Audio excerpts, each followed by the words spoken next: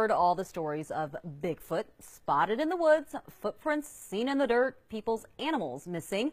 But all of this happening right in our own backyard? Fox 26 your hometown news connection reporter Alex Lehner joins us. Alex, this guy's got pictures picture right here. Bigfoot, as you can see, uh, not a super clear picture, but he's got some damning evidence. Bigfoot seen in an orchard, on a farm, and sometimes it's not just one, but five Bigfoot. And now this local paranormal expert says there's evidence that we can no longer ignore. Bigfoot, notable alias Sasquatch. Last known sighting near Avocado Lake by a local farmer. I'm going up the road and all of a sudden these five and six bodies of whatever run past the front of my headlights on my truck. Keith tells local paranormal expert Jeffrey Gonzalez he thinks these bodies could be Bigfoot. One of them, which was extremely tall, had a pig over its shoulder. And it's, the five scattered the one with the pig was running so fast it didn't see an irrigation pipe, and it tripped with the pig going flying over. This story intrigued Gonzalez, but didn't surprise him. In the last five years, there have been three Bigfoot sightings, all in the same area. I would have never guessed in a million years that you would have told me there's Bigfoots on frickin' Shield or Ashlan Avenue, right? So I want to know what's going on. Is this for real?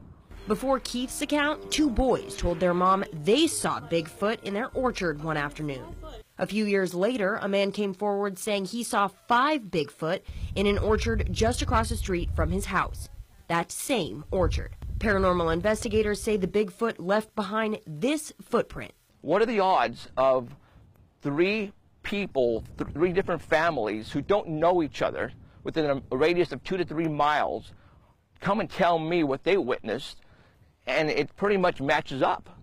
Gonzalez says he's also seen the legendary creature a number of times on Bigfoot expeditions, even finding this print on his car during a trip, which DNA experts say held consistent with that of a gorilla. I, I, I believe there are a lot more people out there who have seen things and are keeping it inside themselves. You know, they don't want to go out and, and tell people.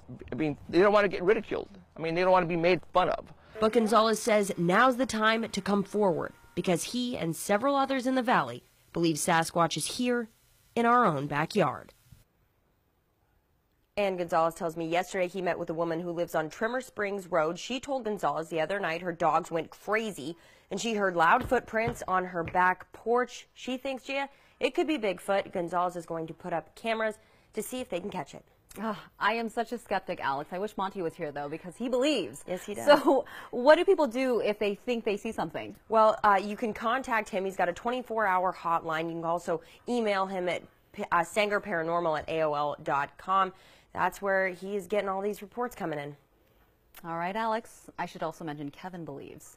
Gonzalez also has a television series called Paranormal Central. It'll start running on CW 59 at the beginning of next year.